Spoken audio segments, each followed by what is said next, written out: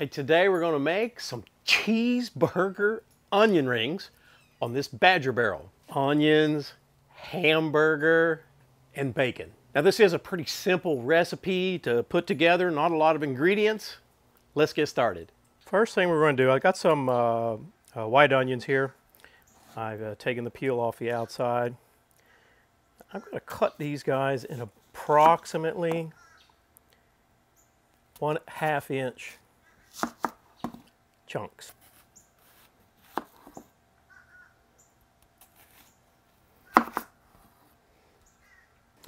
Now we want to separate the rings. Now we busted that one, so that's no good for us. And you won't need these little center pieces. But hang on to everything here and I'll show you why. Now we've got our onions here. Let me set them aside.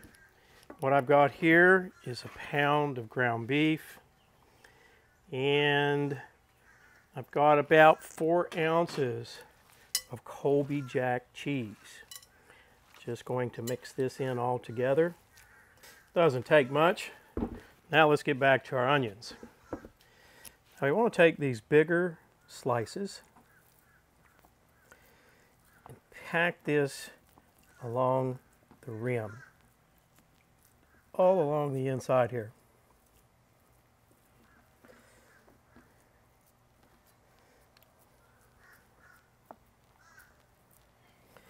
All right, and I got maybe just a little bit too much, so I'll take a little off here. Then, once you get it packed down, you want to take this smaller slice of onion and put her in there like that. Now let me finish getting all the rest of them stuffed up so they look just like that. Now we got our onion rings here, all stuffed up. And now I'm going to come in with bacon. Go around the edge then up through this center. I hope you can see that. Through this onion ring. This will help hold it all together. But you can see you don't have a lot of room here. So you have to be careful. And this will take a couple of minutes. Right? So it's going to take, for this bacon anyway, it's going to take two to three pieces. There's our first one. We got our burger onion rings all wrapped up in bacon but I did want to show you one aspect of putting this recipe together that can take a little time. When you make these, you see how this one is kind of small in the center? It really takes a lot of patience, I should say, to feed that bacon through that small hole. Um, so what I would recommend is you have a much bigger hole. The ones that had a big hole, no, you know, not too bad a problem getting the bacon through. But I had a couple like this and it took forever. I'm going to season them. I've got the Virginia Coastal Steak Rub. Hey, use whatever your favorite beef rub is. Um, if you don't have a beef rub, no, no problem. Sprinkle a little salt, pepper, and garlic on them. You don't have to have the same rub I have to make this recipe work. So what I'm going to do is just season this top side like you could uh, see I'm doing here. You want to make sure you get the back sides also.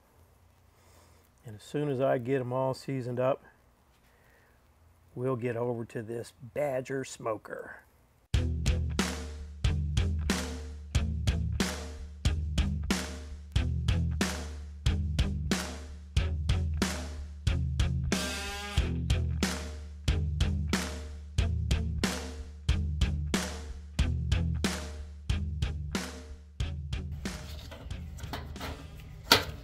Let's get the lid off this Badger.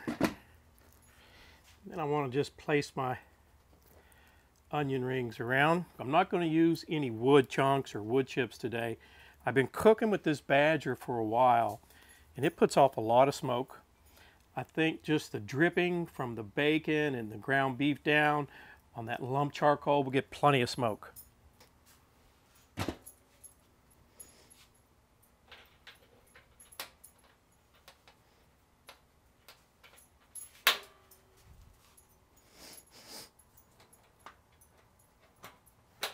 It's been roughly hour 20 minutes to hour 30. I haven't been, you know, tracking it per, you know, each minute.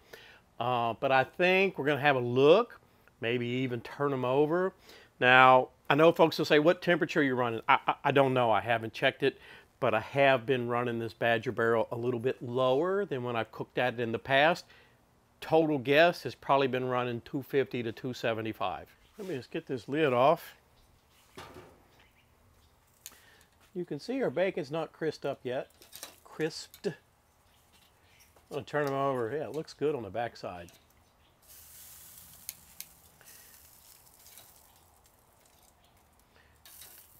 I'm Going to get each one of these guys turned over.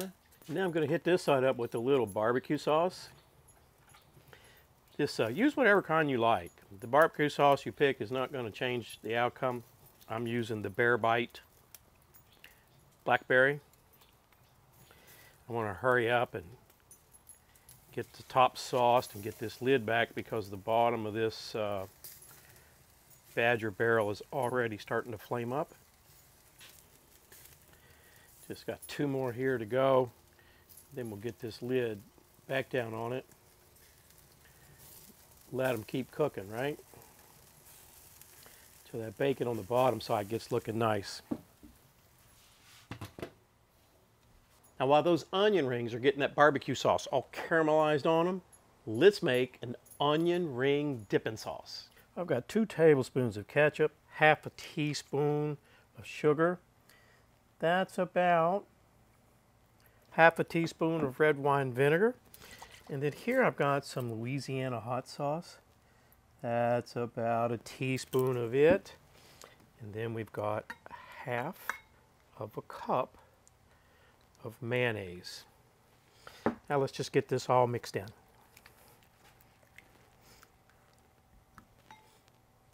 Let's give a little taste. Needs just something else. Going to add a pinch of salt, not even an eighth of a teaspoon. Pinch of black pepper, just a little more. Maybe another eighth of a teaspoon of that red wine vinegar for just a little bit more tang.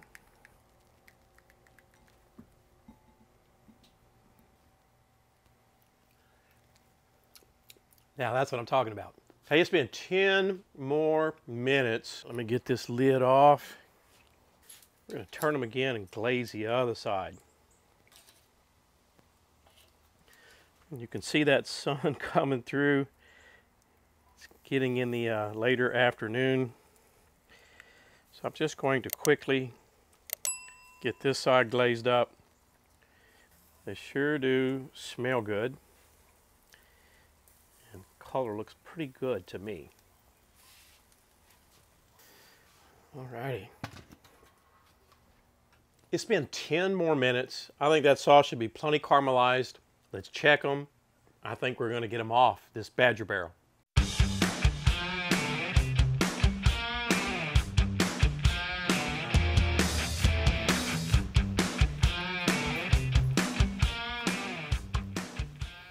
There's our cheeseburger onion rings and our dip.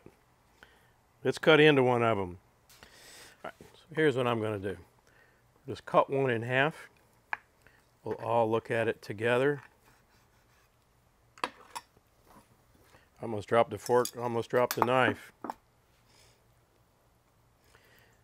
There's our burger and our onion ring, all of our bacon.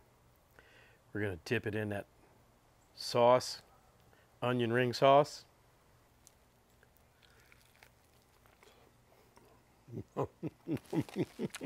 so I've never made these before, and they are delicious. My buddy Sal over at the Root Boy Cooks, I saw he's made them. I, I tell you, you have got to try this. And those onions are so soft and delicious. And that dipping sauce has got that tang to it. It's incredible. Hey, I've got two more barbecue appetizer recipes down below.